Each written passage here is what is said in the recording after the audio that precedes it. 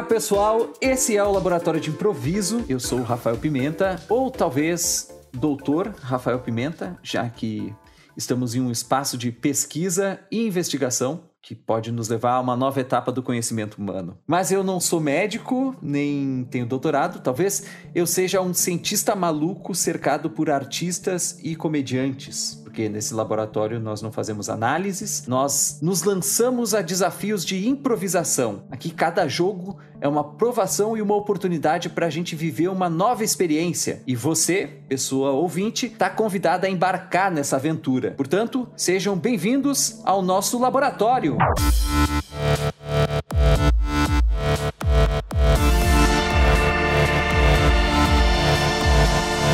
Como eu disse, eu não trabalho sozinho.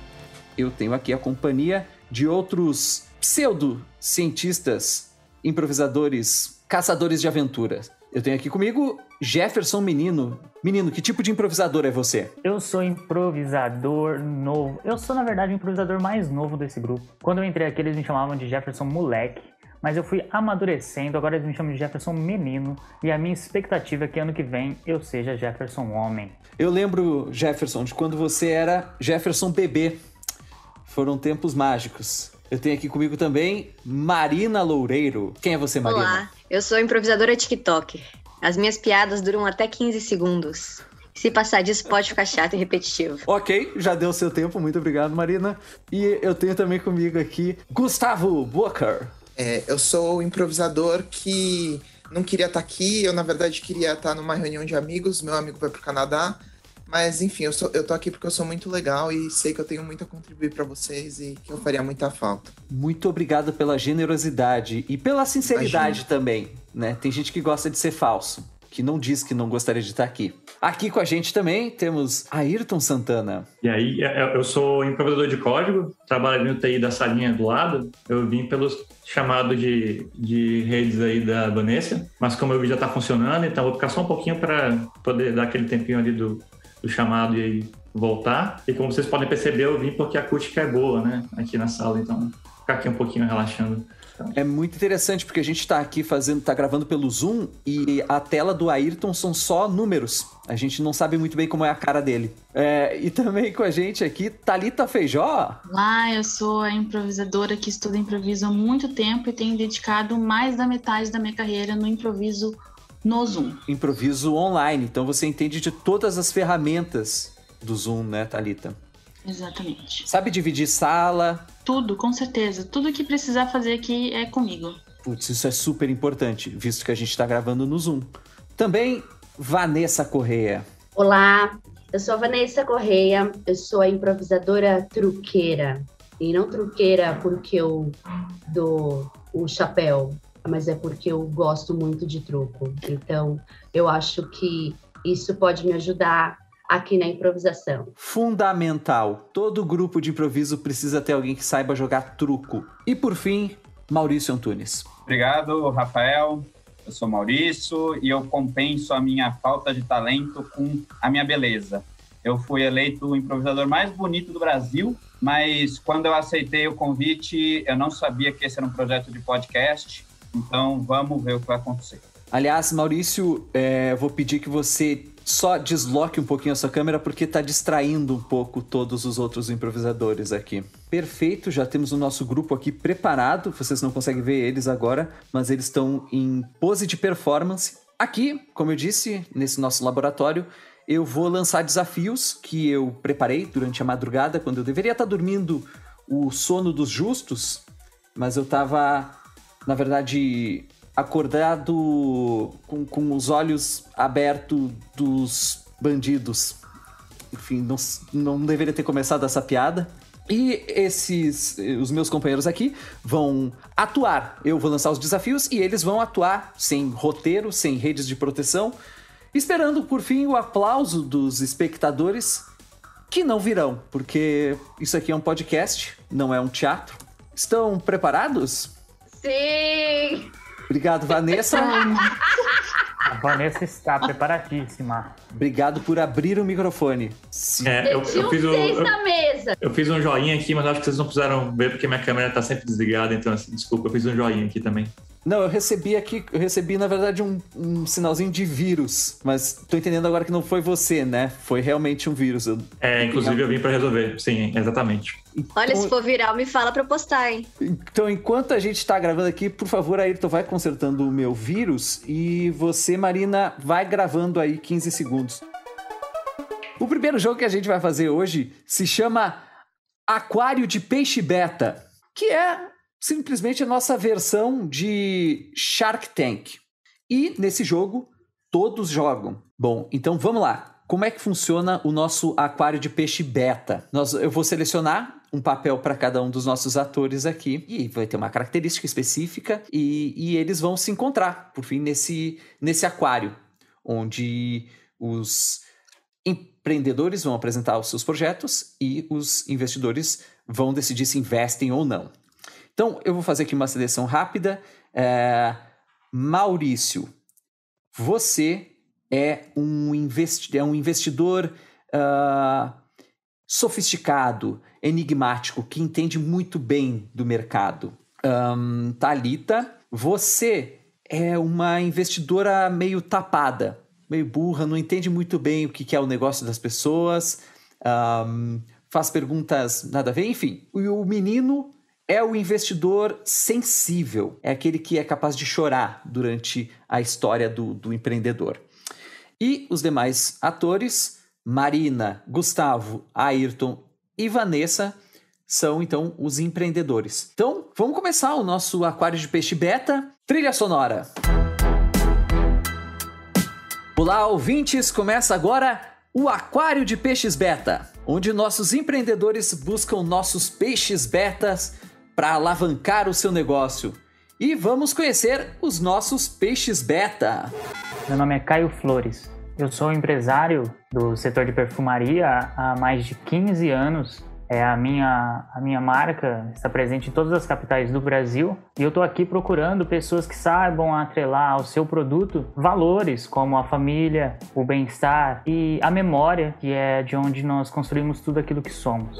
Eu sou a Renata Lima e eu trabalho no ramo de é, farmácias, abri muitas farmácias pelo Brasil inteiro, porque tem muitas farmácias em uma rua só, a gente enxerga cinco, seis, né?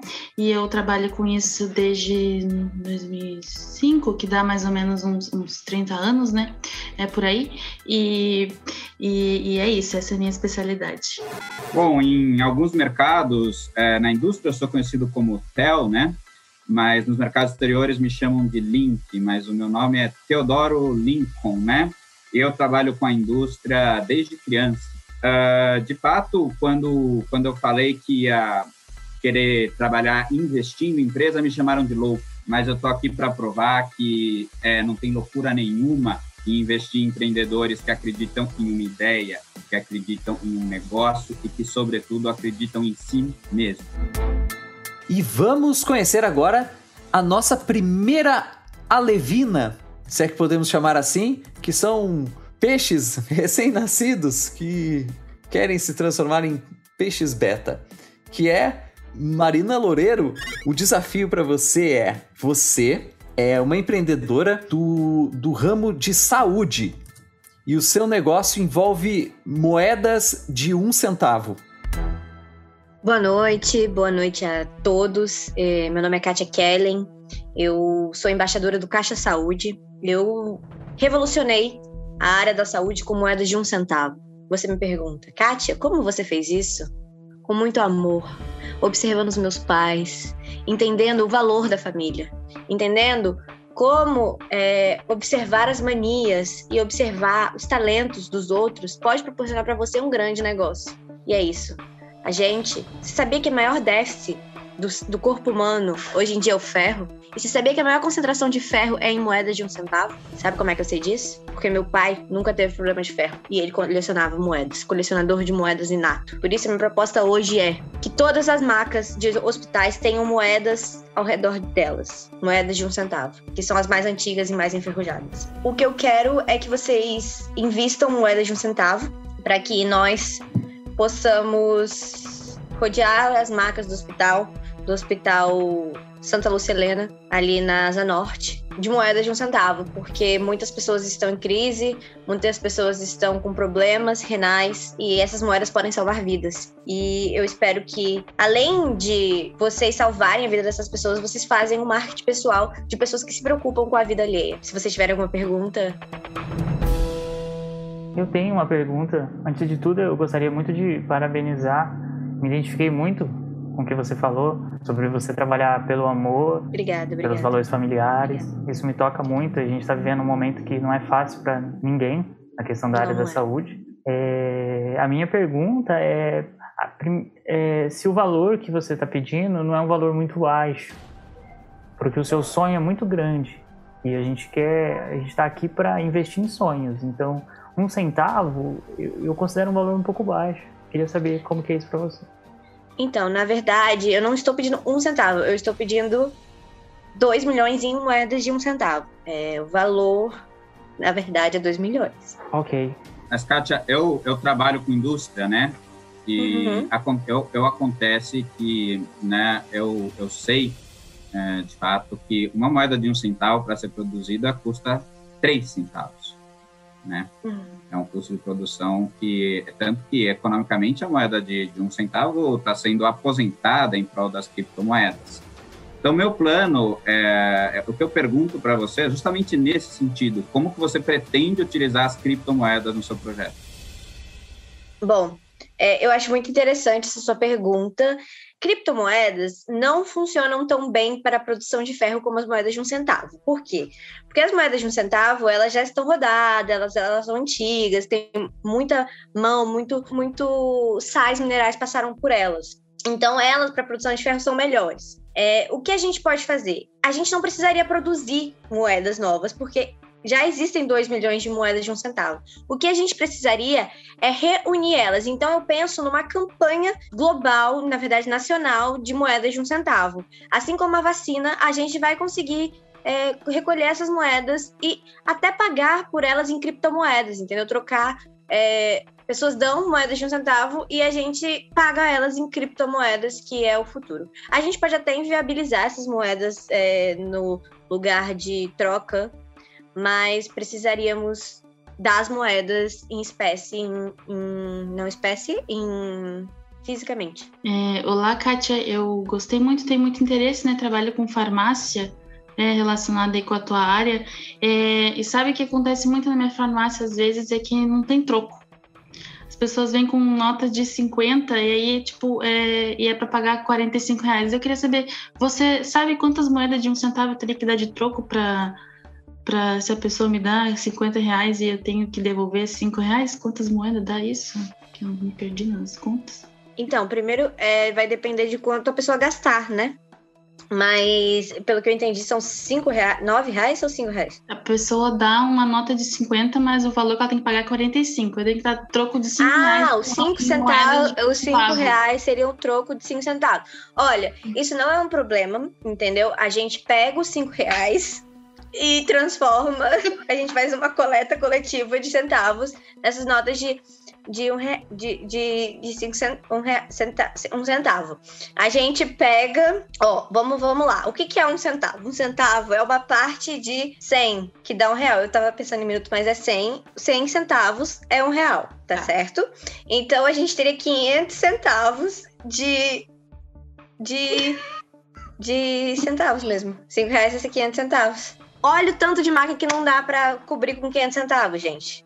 100, olha, 100 centavos dá por maca. Se a gente pegar 500 centavos, 5 reais, você cobre 5 macas e melhora o ferro de 5 pacientes, cara. Olha como é econômico esse projeto. Você melhora o ferro na população brasileira. Sim, Caio, pode falar. Eu, eu queria pegar um gancho nisso que você está falando para sair um pouco dessa questão monetária também. Eu acho que a gente está trabalhando mesmo com sonho. E você está falando do ferro, eu queria lembrar que quando eu fui, era criança, eu tive anemia. E, e, eu tenho a lembrança da minha mãe preparando aquele prato com beterraba, com espinafre, feijão, fígado, que era horrível comer fígado. E. Desculpa, eu me emocionei. Não, mas é, entendo super. Eu, Sabe, eu, queria, Caio, eu queria saber. É, muitas pessoas. formular a pergunta. Desculpa, senão... desculpa. Uhum. Desculpa. É, eu queria saber sobre uh, como você atinge também, com esse projeto, outras doenças. Porque a anemia é só uma. Eu, eu, tive, eu tive problema que eu, eu, é, de pneumonia que eu não senti o cheiro, foi por isso que eu comecei a trabalhar com perfumaria. E... É, desculpa. Não, imagina. Caio, eu posso falar que muitas pessoas, eu já vi vários casos como o seu, tá? Isso é uma coisa muito comum. E nos testes que eu tenho feito lá no Caixa Saúde, o que funciona muito é ferver as moedas de um centavo junto do feijão. Você faz feijão com moedas de um centavo. Elas proporcionam todo o ferro e todo o sulfato de sódio que você precisa para o seu corpo funcionar bem. Gente, as moedas de um centavo podem salvar o mundo de várias doenças, como asma, bronquite e pneumonia e anemia. Olha, Kátia, Kátia, né? Eu acho que Kelly, você Kelly. foi muito, muito consistente na sua apresentação. Eu sempre digo que tem uma qualidade que não pode faltar em nenhum empreendedor, que é a matemática. E você provou que você sabe fazer conta. Então, eu estou preparado para investir é, os 2 milhões de reais que você pediu, porque eu acredito na indústria. Obrigada, obrigada. Eu acho que você tem um plano, né? Eu acho que o empreendedor tem que ter um plano, além de saber de matemática. Tem, obrigada, Teodoro. Você não vai se arrepender. Kátia, eu, como eu não, eu, não, eu não consegui conferir assim de cabeça se tua conta foi certa, então eu agradeço, mas hoje é não para mim. É, eu também eu queria dizer que eu não dei o meu, o meu, o meu veredicto, mas é, eu me sensibilizei muito, muito com o seu projeto, a forma como ele atinge as pessoas, esse lado, essa fala sua de, olha, se eu fizer o feijão com a moeda, eu vou melhorar a sua saúde. Isso é um cuidado de mãe, isso é muito carinhoso. Mas infelizmente eu vou ter que dizer não para o seu projeto, porque perder um milhão agora eu faria mal para minha saúde. Mas muito obrigado e que seu sonho se vocês estão destruindo o sonho de milhares de brasileiros, tá? De se curar da anemia e da bronquite e da pneumonia e do Parkinson. Kátia, é, você tem ainda a oferta do Teodoro. Você vai ficar com ah. ela? Vou. Porque eu consigo enxergar no Teodoro uma mente pensante, sabe? Eu consigo ver que ele tem projeção de futuro, que ele consegue ver, prever o futuro que ele tem essa noção de negócios e empreendimento. Então, eu fico com Teodoro. Eu, eu, respeito a opinião dos meus colegas, tá? Eu acho que todo grupo de investidor sempre vai discordar e às vezes vai concordar também, por que não? E, e eu respeito a decisão do meu colega, mas acho que estão cometendo um erro, porque eu acho que esse um projeto é, unir o centavo com saúde é uma ideia que tem o meu apoio. Obrigada, Caio. Tá aí uma linda história. A Kate trouxe o seu negócio e, e o Teodoro é, topou, gostou da ideia dela. Então já saímos com um saldo muito positivo dessa primeira roda de negócios. E agora nós temos aqui agora então um, um novo empreendedor que é o Ayrton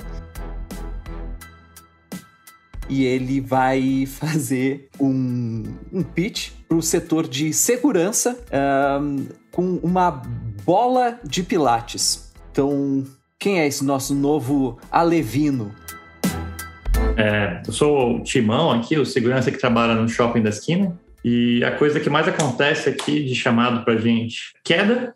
Então, assim, parei para observar ali, pô, igual a mãe falou para mim outro dia ali, foi fazer um pilates, caiu, machucou ali, era para melhorar as costas dela, não melhorou. Fiquei observando isso, porque acontece bastante. Observei, observei, observei. Eu vi ali, imagina uma bola de pilates de plástico de cânhamo que vira um traje que segura a pessoa quando ela cai e ela não se machuca. A pessoa que incrível isso. Minha mãe não ia ter se machucado. Aí, ó. Mãe de vocês aí também vai se machucar. Tio de vocês, qualquer pessoa que tiver problema com coluna aí vai poder fazer pilates com segurança. E é hoje a ocorrência que mais me acontece aqui, pelo menos no meu dia a dia, ali, como segurança do shopping da esquina. E é baratinho para começar. Como vocês já estão vendo, eu vi, eu vi com traje aqui, ó, que é dessa bola de. Quando eu caía, o traje ele me segurou, desse plástico de cânhamo, assim, para produzir isso aqui, né? Assim, dá um pouquinho de trabalho, tem uma pesquisa, assim, mas os 50 milhão aí de reais, se for dólares aí, já diminui para uns 10, olha que bacana. Se for Bitcoin, ó, diminui mais ainda. Se for um Bitcoin, já começa muito bem, já, inclusive. Então, Uh, Timão, muita, muito sucinta aí a, a sua apresentação. A, a coisa mais importante que um negócio pode ter é o storytelling, né? Então, nesse sentido, eu pergunto qual que vai ser o nome da sua marca? Como que você pretende se posicionar no mercado? Uh, o, a ideia que eu pensei, assim, é, eu estou pensando no nome ainda, mas assim, é sempre o nome, primeiro que vem na minha cabeça quando eu estou fazendo plástico ali que faz a bola é Caiu, não morreu. Esse que é vai, vai ser o nome da, da, da, marca, assim, Caiu, não morreu. Porque tem o Caiu, morreu, e aí agora, e, inclusive o nome da marca já traduz o problema que eu quero resolver. Isso aqui é incrível, não ter que aprender a cair, cair com segurança e não morrer. Olha, Timão, é, primeiro, parabéns pelo seu projeto. Eu valorizo muito projetos que cuidam das pessoas, se preocupam né, com o bem-estar das pessoas, com a segurança física das pessoas e psicológica também. Então, meus parabéns. A minha pergunta é exatamente sobre esse nome que você acabou de citar. Você não acha esse nome um pouco. pode disparar gatilhos emocionais nas pessoas que perderam entes queridos, que não tinham essa bola de pilates para proteger as costas, o fêmur? Não é um pouco precipitado optar por um nome que envolva morte e vida? É, cara, agora que você falou, não tinha parado para pensar, mas assim, é fácil. A gente faz uma, um pivoting ali, ó, e muda para caiu, viveu, e resolveu o problema. É, sou eu, né? Sou eu. É. Ô, Timão, é, assim, eu não entendi nada que você falou. Eu só queria saber, assim, Timão, e o Pumba? Então, Renata, ele fez Pilates, né? E naquela época a gente não tinha, não tinha ainda esse produto assim, aí eu fiquei sozinho. Poxa. Olha, Timão, o, o que, que acontece? Eu, eu acabei de investir em um negócio agora e eu não gosto de repetir. Então, eu não devo investir no seu negócio, tá? Não só porque eu não gosto de me repetir, mas porque uma característica que todo empreendedor precisa ter é a originalidade. E a sua ideia me lembra muito uma invenção chamada airbag, ou seja, né? Já tem uma ideia muito parecida com a sua. Então, eu vou agradecer a sua participação, a sua coragem, a sua, a, a, a su, o seu destemor de estar aqui é, no nosso programa, mas essa vez eu vou ter que eu vou ter que passar. Teodoro, você está certíssimo. Eu acho que você está corretíssimo. Assim, é, eu entendo você não ter. Eu acho que você pode investir em várias coisas, mas assim você pegou a ideia certa. É tipo um airbag, só que ali é um pouco mais automatizado ali, ó. É, e é isso aí mesmo, assim, agradeço a, a, sua, a sua, crítica, assim, espero que dê tudo certo para você nos seus, seus, nas suas coisas, mas assim, tem stock options aqui, se você quiser ações, pode negociar as ações aí também, você fica um pouquinho menos aí, ó, eu, eu gostei da sua atitude, viu? Gostei da sua atitude. Acho que a gente tá, pode ter alguma coisa no futuro. Timão, eu acho que como você falou assim pro Teodoro, né? Que ele não quis investir em você. Ele falou, você tá certo. Eu acho que você também não é muito inteligente. Então, eu acho que a gente ia se dar bem. Então, assim, se você se comprometer em fazer as contas aí de quando você precisa, porque eu não vou saber fazer isso, eu, eu invisto. Daí depois você me diz isso. Acho que, sei lá, 100 mil dele, tá bom? Acho que eu tenho. Pode deixar. Então Pode tá. Deixar. Eu, eu, vou encontrar, eu vou encontrar para você a melhor forma de dar visibilidade do progresso do produto que a gente vai criar, que vai ser incrível. Ah, é, é, então... antes, antes de fechar, Timão, eu também queria apresentar uma contraproposta para você pensar nas possibilidades, porque eu acho importante a gente saber dos valores, sim, é importante. Então é, é legal pensar nisso. Mas eu queria dizer que eu me sensibilizei muito com a sua história, a sua perda do seu parceiro, porque eu também perdi. Eu perdi um amigo que começou o projeto comigo lá atrás. Ele era como Pumba, ele era ele tinha essa ligação, sabe? E você falando disso, a história de vocês é muito linda. Então, eu já imaginei assim, caiu, viveu, é lindo viver. A gente pode pegar esse slogan do, do próprio Hakuna Matata e colocar nessa marca e pensar num projeto que, que vai alavancar, entende? E então a minha proposta, eu tenho, tenho investimento, eu tenho valores, e eu acho que você podia vir comigo e a gente formar uma nova dupla, eu e você. Ah, eu, eu só quero te dar um abraço agora.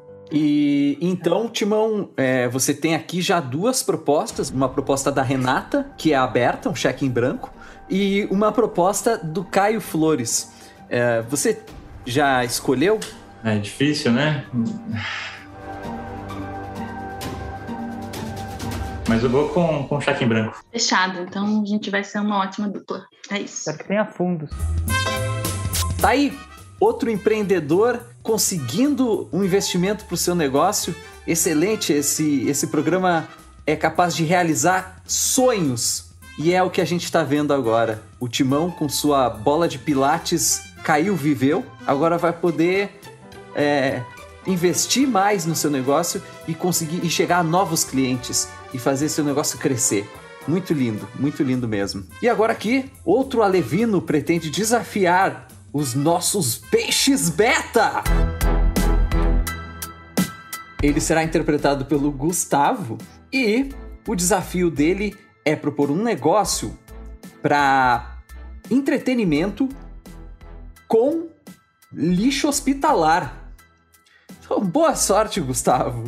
Boa tarde, Peixes Beta. Meu nome é Mário e hoje eu vim trazer para vocês uma proposta. Eu sou do mercado de entretenimento já tem 15 anos. Nessa minha experiência, eu observo muito a questão do, do consumo de entorpecentes, que para mim é uma questão muito, muito séria e muito delicada a gente tem um problema atualmente, que é a legislação brasileira, que impede o mercado de entretenimento de crescer dentro do Brasil. Então, eu, eu procurei, dentro desse mecanismo, uma saída para que a gente pudesse investir hoje, para a gente não precisar esperar o amanhã, não esperar a, a legislação mudar, para que a gente possa investir hoje no mercado de entorpecentes dentro do Brasil. Então, minha proposta é a seguinte: é, a gente vai começar a reaproveitar as substâncias. E aí vocês veem que tem uma dupla função, porque a gente também, ao mesmo tempo que ocupa o mercado de entorpecentes, a gente alivia o mercado da reciclagem. A gente vai se tornar a principal empresa de reciclagem hospitalar. Com isso, a gente vai passar em cada um dos pontos, cada uma das farmácias, Renata, coletando o, o lixo hospitalar, coletando as agulhas. E vocês sabem, no final de cada seringa, resta um pouco de substância. Às vezes você corta um comprimido pela metade e você não pode dar para a pessoa, você tem que jogar fora.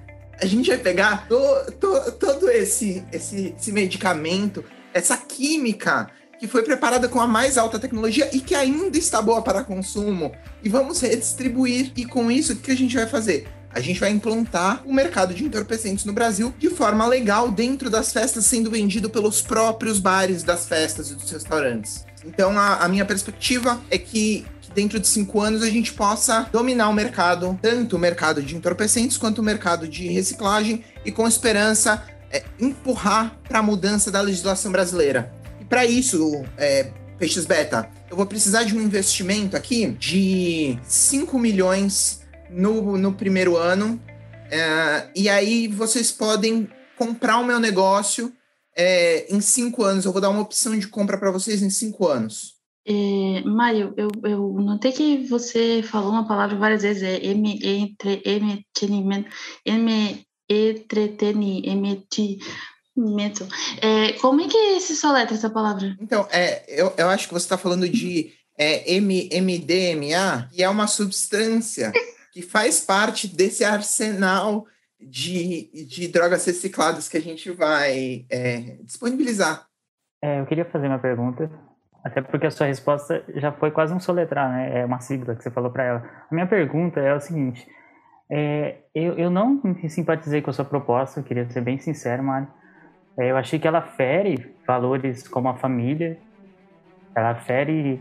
Eu posso estar um pouco fechado, porque eu acabei de abrir meu coração pro, o investidor anterior que estava aqui, o empreendedor, e ele me deu um fora. Talvez eu seja um pouco sensível em relação a isso. Mas, pelo que eu cresci, no meio que eu cresci, a gente cantava na escola: Proed é o programa, Proed é a solução. Quando aprendendo a dizer não. E eu achei é, ousado a sua proposta. E eu queria saber é, a respeito o que você pensa. Você está falando de valores, mas o que você pensa da, da construção da sociedade? Como isso, isso, isso afeta a, a, todos nós? Eu, a nossa empresa surge num momento de incerteza sobre o futuro. Então a gente acredita no mercado de entretenimento. Diante do niilismo da população, eles vão recorrer para quê? Para as drogas, para a música, para o sexo. Então, todos esses mercados vão ser mercados hiperaquecidos. De fato, a sua observação é correta, não tem a ver com a família. Se eu puder te trazer por um outro lado, queria te convidar a pensar na flor do ópio, que é uma flor tão utilizada para fazer as drogas.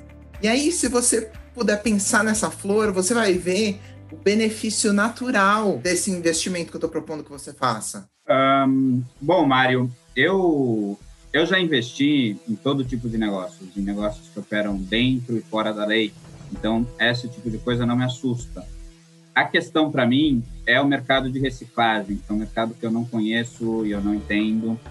E então, como eu não entendo e não tenho problema nenhum em assumir que eu não entendo, eu vou fazer a mesma pergunta que eu fiz para a Kátia. Como que você pretende utilizar as criptomoedas no seu negócio? Essa questão é muito pertinente porque quando a gente fala de criptomoedas, a gente fala de taxação. E no Brasil a taxação é extrema. Então, é muito interessante que a gente comece na nossa empresa recebendo apenas em criptomoedas. A gente pode receber pequenas quantias diretamente dos compradores é, não precisa ter o intermédio de cada um dos locais de venda. E com isso, a gente pode mandar os nosso, o nosso montante que a gente for acumulando das nossas vendas para algum paraíso fiscal e assim evitar qualquer tipo de taxação. E, e que tecnologia você pretende utilizar para isso? É para fazer essa, trans, essa transmissão para os paraísos fiscais, para receber então, e fazer a transmissão? É, é tem, tem a tecnologia muito boa, que é a tecnologia do, do, do pendrive, que há muitos, há muitos anos já serve para fazer esse tipo de transferência de criptomoeda, porque ele é muito pequenininho e ele é, captura uma quantidade muito grande de criptomoedas dentro de si. Então, e, e a melhor vantagem dele é que ele pode ser inserido dentro do, do reto de uma mula que vai levar o, o nosso, nosso dinheiro até um outro, um outro país, um paraíso fiscal. Bom, eu tenho minha primeira oferta, sim, Mário. Eu, você pediu 5 milhões, né? Eu acho que é um pouco demais assim, então eu ofereço 5 bilhões e é pegar ou largar. É, eu ia fazer uma proposta também, mas eu já tô cansado de competir com a Renata, que ela é uma parceira que a gente tá sempre junto conversando e eu não quero fazer isso. E 5 bilhões para mim é um valor muito alto. Ela tem muito dinheiro mesmo. Eu só queria dizer parabéns. Eu tava afim de experimentar esse, essa flor do op. Não, não experimentar no meu, no meu produto e ver se isso agregava nos meus perfumes e tudo mais. Mas vai com a Renata, vocês vão se dar bem. Um, quando, quando, há 10 anos atrás, eu tive a oportunidade de investir no Snapchat. E, e eu não investi nele porque eu não entendia o negócio. E, e eu, aprendi uma lição valiosa de que, às vezes, você tem que investir em negócio que você não entende. E eu gostei de você, Mário, porque você tem uma característica que não pode faltar nos empreendedores, que é a criatividade, o pensamento ágil, a ousadia, porque eu acho que os negócios têm que ser rígidos, mas também têm que ser flexíveis e acho que você consegue trazer essa energia. Então, eu vou empatar a oferta é, da minha colega é, da minha colega de 5 bilhões para que você tome a decisão somente baseado na pessoa que você quer que seja o seu parceiro nessa jornada, que eu tenho certeza que vai ser de muito sucesso. É, não é, não é uma decisão fácil. Uh, Renata, por um lado, é, tá já inserida nesse mercado, num dos mercados que, que eu pretendo atuar. É, por, por outro lado, é, conheço o Theo, sei que ele tem uma experiência pessoal nesse, nesse mercado dos entorpecentes e acho que ele traria uma grande expertise, mesmo que não conheça o mercado da reciclagem. Então, é, é realmente eu estou muito dividido, muito dividido. É, a minha escolha vai ser por uma minúcia mesmo, porque o Theo falou de um elemento rígido e flexível, e, e isso me interessou muito, acho que faz parte da minha personalidade. É, gosto muito de uma coisa rígida e flexível. Então, minha escolha hoje vai ser pro Theo. Incrível e surpreendente.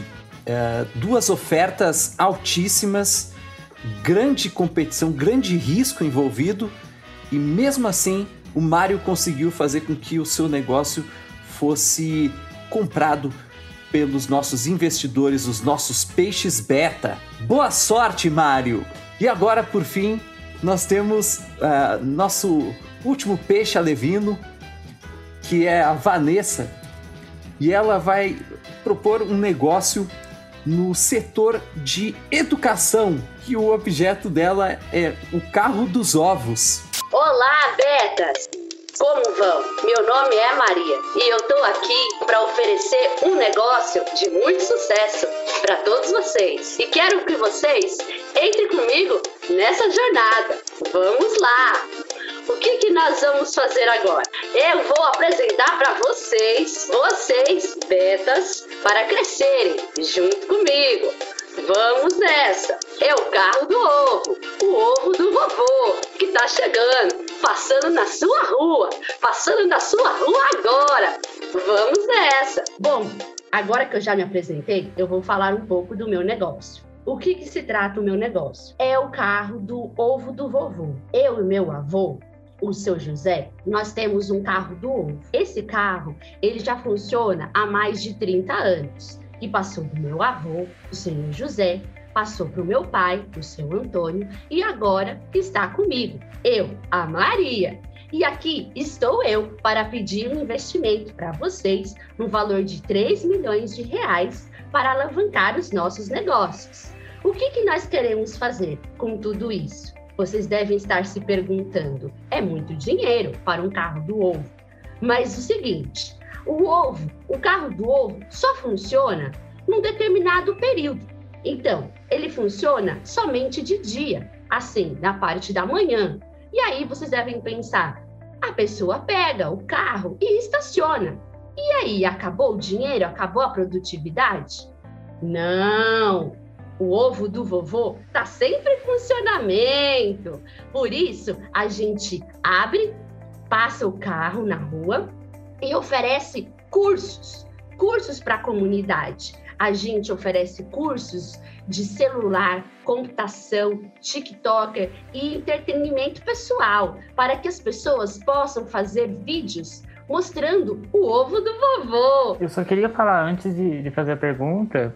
É, eu estou muito tocado por esse tema também. Eu que sou uma rocha aqui no programa, esse tema me afeta diretamente, assim, porque faz parte da minha história.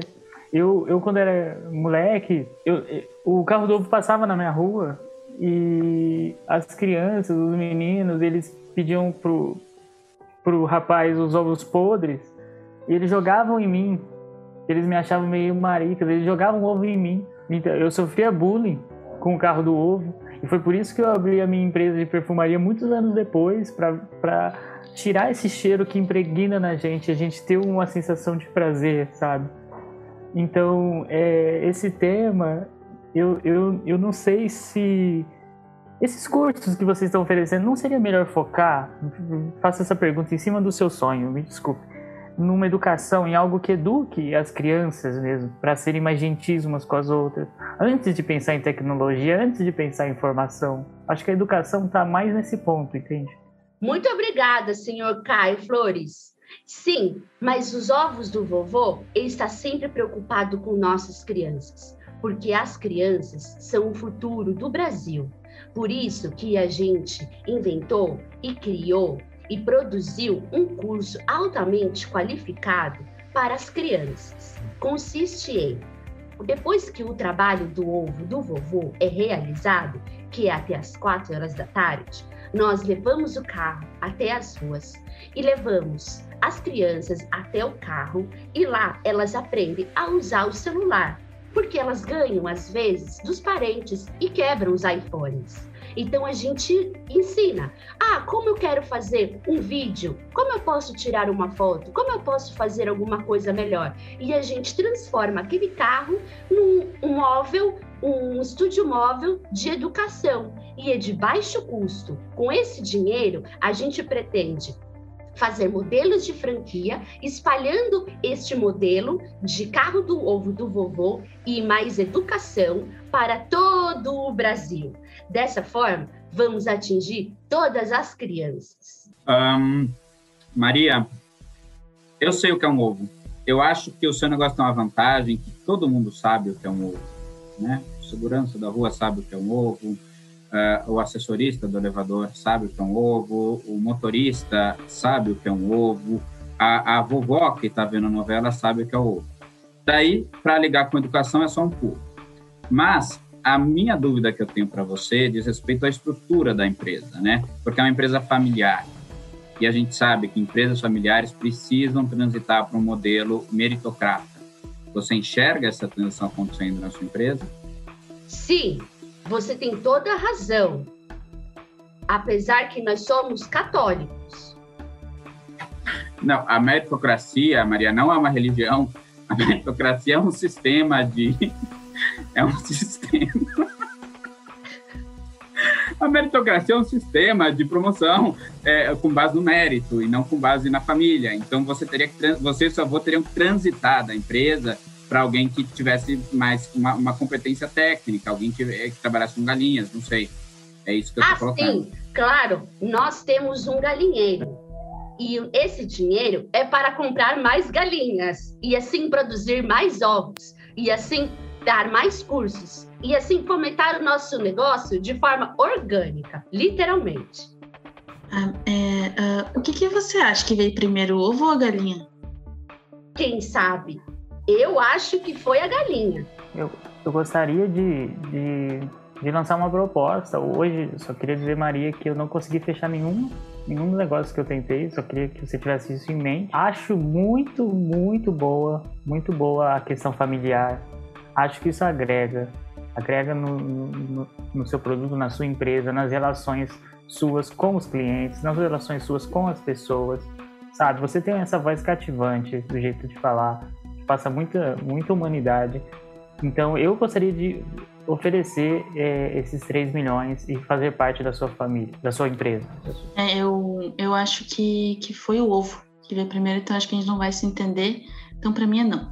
Um, bom, Maria, eu acho que você tem muito carisma, que é uma qualidade que não pode faltar em um empreendedor carisma, né? Sem carisma você não consegue persuadir, convencer. Mas uh, não só porque eu tenho uma orientação da produção de é, não não fazer mais que duas propostas para tornar o programa interessante, mas também porque eu acredito que um, eu acredito muito muito que, que falta né ao, ao ovo do vovô uma uma marca mais moderna, né?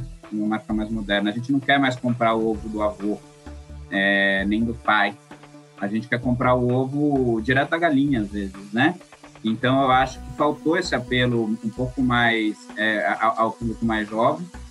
E, então, por isso, é, por essa falta de modernização na marca, eu também não, não, não consigo acreditar na sua empresa. Se eu não consigo acreditar na sua empresa, eu não consigo investir na sua empresa, e eu entendo a sua empresa, o que também conta negativamente, porque é, é sempre importante a gente investir em negócios que a gente não entende. Tá aí, Maria, você então tem uma proposta. E, e, e aí? Você vai ficar É claro que eu aceito! Muito obrigado, ah. senhor Clário. Bem-vindo à família, a família do seu ovo do vovô, junto com o seu Antônio, junto com o seu José, e vamos ajudar a vender mais ovos e fazer a educação com as crianças. Muito obrigado, te amo. Parece que hoje todo mundo saiu feliz aqui do nosso aquário de peixe beta. Muito obrigado pela sua audiência. Um grande abraço e até o próximo episódio de Aquário com Peixe Beta. Rawr.